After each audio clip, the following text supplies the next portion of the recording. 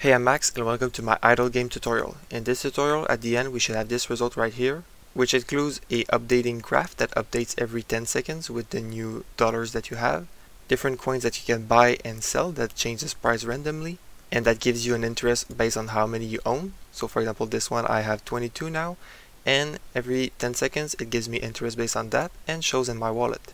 So, so far we've started a little bit of the UI and we've done the big numbers. Now let's start actually making some stuff. So first off, the dollar text here, I actually don't want it to be only shown in the menu. I want it to be shown everywhere, at least in trade and wallet. So I'll drag it up here under the background. Then I'll create an empty game object and call it trade menu. In my dollar menu, I'll add an image. Under the trade menu, I'll add a button and I'll set it to my button sprite. And then I'll make it a bit bigger, maybe a little bit more down here. Then I'll set the text to max coin, which is the first coin on this game. Obviously you you might not want to call that max coin in your game.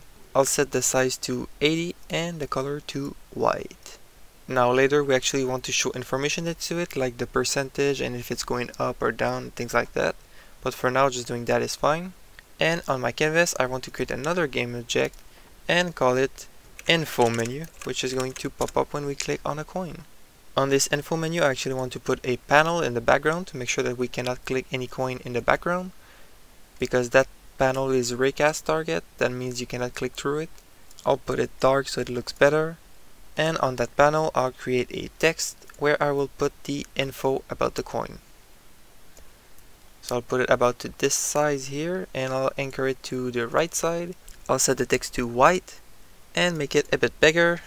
I will also center it and at the bottom of the info menu I'll add a button to go back.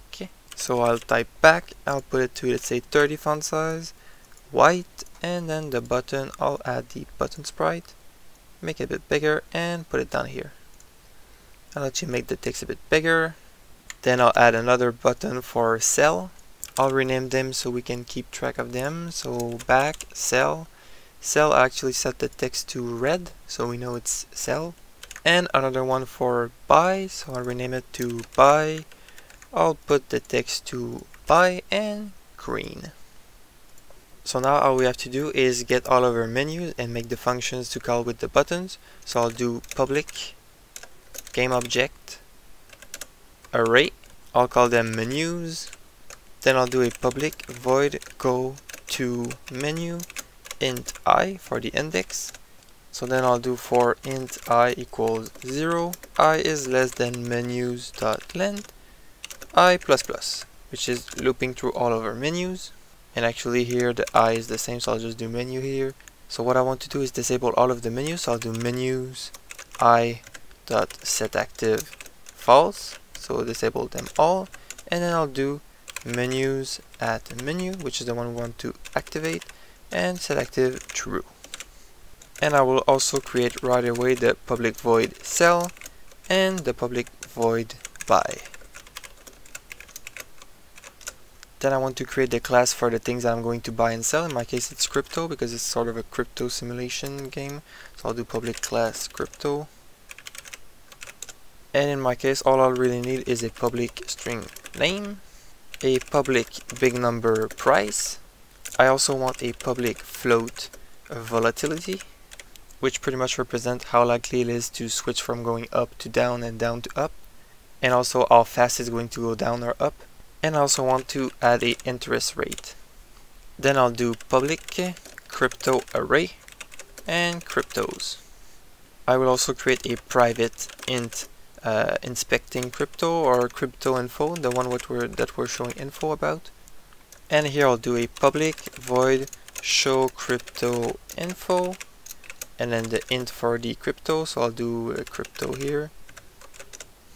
And then what I will want to do is go to the menu for the info. In my case I think it will be 3 then set the crypto info to crypto which is the parameter that we passed. And this is because we need to keep it in memory. So if we decide to sell or buy we know which one to sell or buy. And then we also need to have the crypto info text and here we can set the crypto info text right now to something like just the name pretty much so cryptos uh, at crypto dot name. Yes, actually I think it's go to menu 2, but we'll, we'll check and see. So now I will add my menus. I think I have three right now, so it will be the wallet menu, and then the trade menu, and the info menu. So it's two, just like I said at the end. Now I need to put the crypto info text, so right here under the panel text, and as you can see my cryptos are not showing up. That's because the class crypto is not serializable, so it doesn't show in the editor. I just need to go up top and do little brackets and do system.serializable. And now they will show right here in my game, and I can add them. So right now I'll just do one. I'll call it max coin, volatility of 0.5, let's say, and an interest of 0.2. Now I will set all of my buttons, so the wallet button will call the game go to menu 0 my trade button will call game go to menu 1 then my max button here will call game show crypto info 0 then the powers button here will call go to menu 3 and the settings button will call go to menu 4 I also want to set the back button to go to menu 1 so it goes back to the trade. And I want to add also my sell to the sell function even though it's empty right now. And the buy to the buy function. Now I'll save because if I lose everything again I'm going to be mad. And in the game I'll remove the thing that I did with the power of the player because obviously you don't want the money to go up by itself. And I'll make it so on start you go to menu 0 so you go on wallet at the beginning. So now if I hit play it should show my wallet. And if I trade now it shows all the coins. And if I click a coin it shows me the name of the coin buy and sell. If I go back go back to trade. So this is working fine. So thanks for watching part 3 of the tutorial. We finally managed to get a UI that's working. So now we can start doing the buy and the sell Make sure to check out the other parts when they're out. You can also feel free to check out my other Unity tutorials and subscribe if you want.